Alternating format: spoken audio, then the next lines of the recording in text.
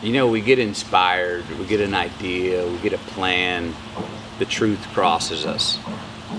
And when it does, we usually feel like, oh, it is so clear and makes so much sense to me.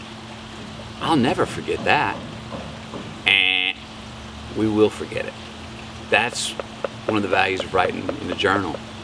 It's a way to put it down, to document it. It's a written manifestation of what it is we're chasing in ourselves, where we want to go. It's a manifestation of our future. And it's documented. And again, you write it down, you can forget it. You look back, you get reminded, and you go, oh, yeah, that's where I'm heading. Sometimes we need that reminder. Sometimes we don't need that reminder, and we just look back 20 years later and go, son of a bitch, I pulled it off.